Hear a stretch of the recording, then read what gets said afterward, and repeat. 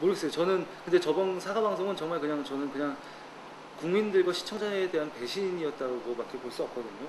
왜냐하면은 어쨌든 뭐 정권의 압력에 굴복해서 혹은 타협을 해서 뭐 둘 중에 어떤 어떤 상황에서 뭐 그런 방송을 했는지는 모르겠는데 어쨌든 둘 중에 하나라고요. 그 사과 방송을 한 배경은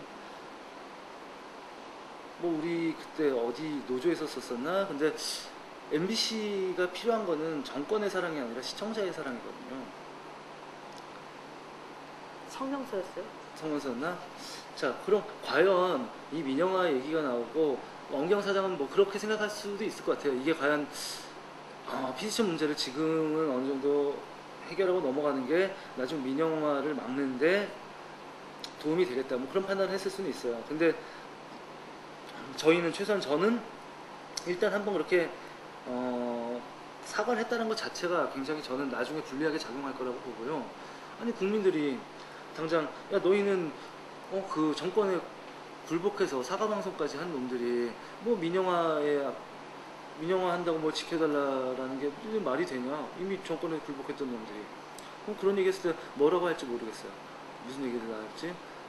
근데 시청자들은 사실 PD수첩에 대해서 방송을 믿었었고 그 방송 내용이 바로 뭐 미국산 외국 쇠고기가 안전하지 않다. 우리 정부가 협상을 잘못했다.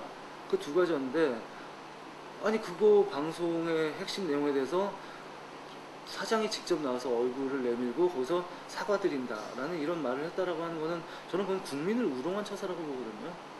결국은 시청자를 국민들을 선택하지 않고 정권을 선택한 거죠, 그거는.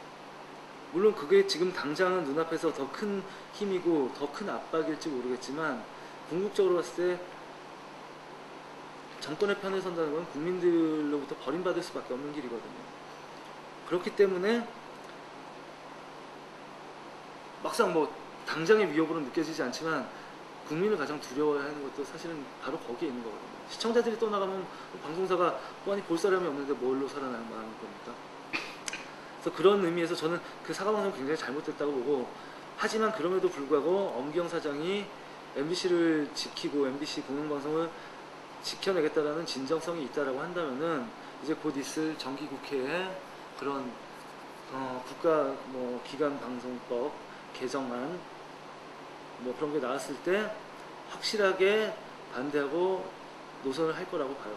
근데 만약 그렇지 않다라고 한다면은 그때도 그냥 어영부영하면서 넘어갈 수 있겠죠.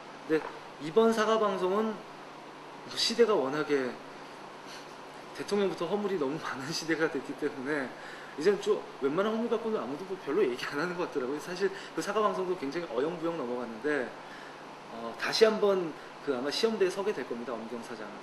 그 당신의 정체가 뭔지 밝히시오라는 그 정체성을 다시 한번 보여줘야 될 더 큰 시험대가 있을 텐데 그 자리에서 또 이렇게 우유부단하고 공영방송을 이끌어갈 수장으로서의 모습이나 그런 뭐 덕목이 보이지 않는다라고 한다면은 어 저희는 뭐 이미 뭐 사실 엄경사장 저는 솔직히 뭐 인정 못하겠는데 이미 뭐 그 시점에 가서도 그런다고 한다면 우리 MBC 구성원으로부터 의 지지는 아마 철회가 될 거고요. 아무도 엄경 사장을 더 이상 사장으로 인정하지 않을 겁니다.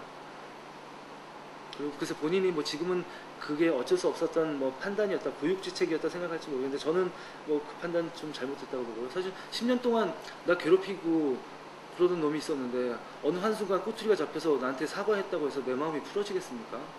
10년 동안 나를 괴롭힌 놈인데 근데 그것도 어, 그 대상이 보통 사람들도 아니고 정말 그 영악, 영악한 정치인들이라고 한다면은 MBC가 한 번 사과했다고 해서 저 사람들이 뭐 귀엽게 봐주거나 민영화의 대상에서 제외한다거나 전혀 그럴 리 없거든요. 이병순 사장이 취임한 다음날 바로 공성, 공성진 의원이 이제는 MBC 민영화를 논해야 됐다 바로 나오잖아요. 그러니까 정말 그건 MBC를 위했던 게 아니라는 걸 지금이라도 느낀다라고 한다면은 앞으로 있을 더 큰 싸움에 저는 더 적극적으로 자, 역사에 정말 지금 굉장히 훌륭한 언론인으로 많은 국민들이 생각하고 있잖아요.